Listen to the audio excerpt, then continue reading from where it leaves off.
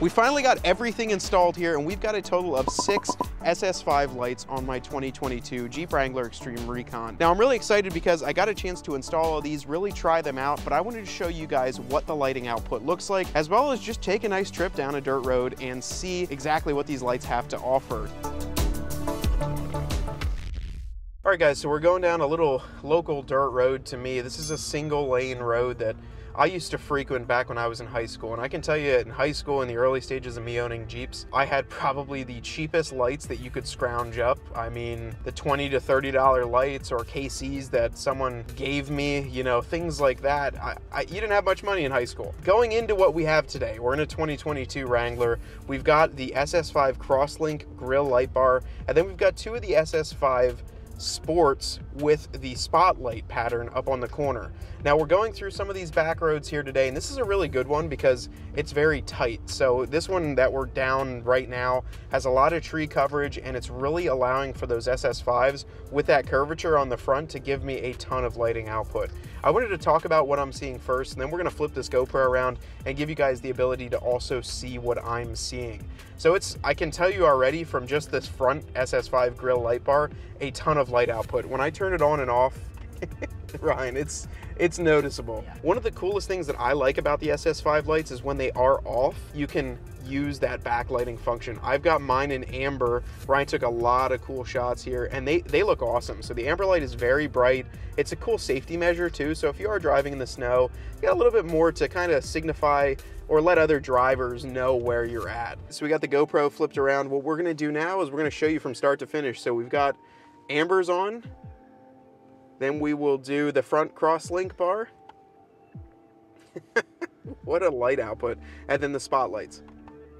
So you can see the spotlights, I wanna adjust a little bit higher up and I'm gonna hop out here and do that. And you kinda wanna do this on a back, back road or a dirt road like that, but I wanna push them out a little bit further so it's really shooting off into the distance. The reason I did that up on the pillars here is also so when you turn them on, it doesn't reflect like crazy back off of the hood onto you. So if you put like a, a flood pattern on the hood, it's gonna shoot super wide, reflect off of the hood, and it could be a safety issue if you're going down some of these roads in the winter time. Spot kind of keeps that more pencil tight and shoots it a lot, a lot further forward. But let's drive and uh, we're gonna, we're gonna enjoy these lights. I'm happy with that GoPro mount, guys. If you guys are looking for the ultimate in like mounting solutions, Ryan and I can't suggest more. He's got his phone up here viewing the GoPro monitor. So this is the second phone mount. We've got the GoPro here, and then normally my phone mount, or my phone would go right here. But with that being said, I don't want to put the phone up just because it'll block the GoPro. But yeah, this is Bulletpoint mounting.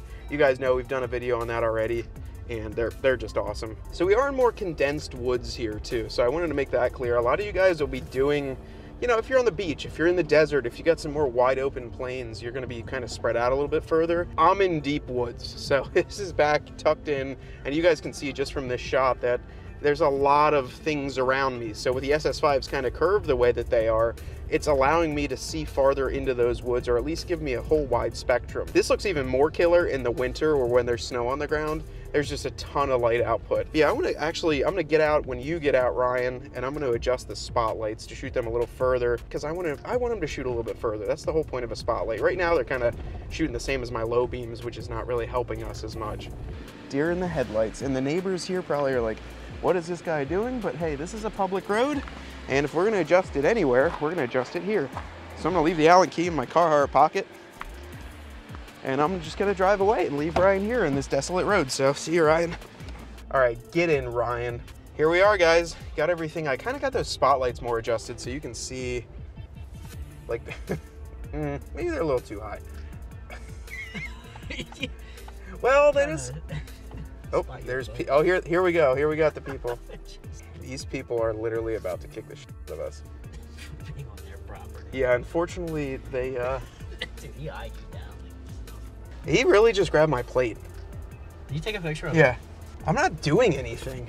So we are rolling down through. It looks like I've adjusted my spotlight beams a little bit too high. So I'm going to hop back out once we get on a kind of straight, straight area and uh, or a flat area to see where we really want to shoot these because as you can see they're kind of up in the middle of the woods right now but it's shooting further down but it's just too high so actually let me let me try right here Ryan, you stay in the car.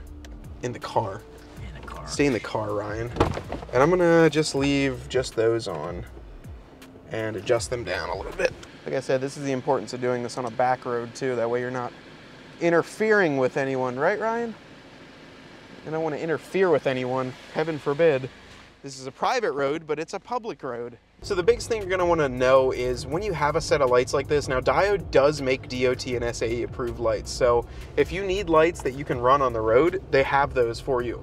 When you get the level of lighting that we have here, this is way past what we're looking at. And as you can see, that car just drove by. I made sure to turn them off as soon as I saw headlights in the distance because these will like hurt somebody's eyes pretty bad.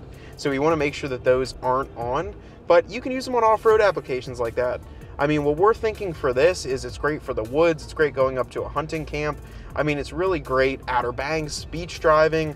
These are going to be the lights that really set you apart from you and the other drivers when you need them. We plan on doing a lot of overland expeditions, a lot of going out and going further, and we want to be able to shoot our lighting further down the road. And what I'm seeing now is these spotlights are actually picking up. Check this out, Ryan. Shoot over into that field a little bit. See the deer? See them? Way down there. You might not be able to see on camera, but we can see we can see deer. Well, I was seeing them all the way down across that field. Yeah, the spotlights I have pretty well adjusted now. That's what I wanted to be able because we were kind of cresting a hill there, but they're shooting just further than what than what the high beams will do. It's kind of nice though. I wanted to wait until we got all the lights installed just to show you guys also and wait till it was dark out. So it's wintertime, which means it gets dark at 5 o'clock, 4.30ish. So we decided to go out and just go down the road that I knew we would be able to see a lot more. So down there, yeah, I just saw some more deer headlights. You can, it's gonna help you. If you're driving alone on the highway or in a desolate area, you're gonna be able to see those deer further away. You're gonna be able to see issues or hazards in the road. There's a lot of benefits of it. You can probably see those right up there. See them? See the little eyes? Oh yeah. See that deer? Yeah. There you go, guys. So if you don't want to hit that right there, or his little friend that was behind him, but that's probably that's over a football field. Yeah. Oh wow. It's staring right at. Yeah.